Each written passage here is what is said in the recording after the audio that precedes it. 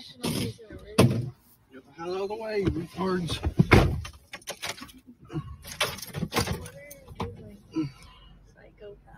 Those black guys have all have guns in the car and they're holding them up.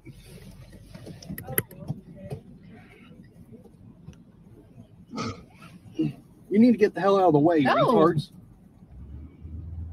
Hold them up to where? The windows. With full full banana clips.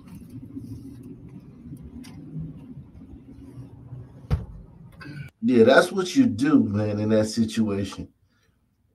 If you see some sun teens, you know,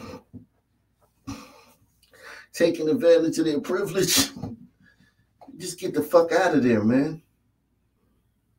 You can call the police while you're driving down the street, man.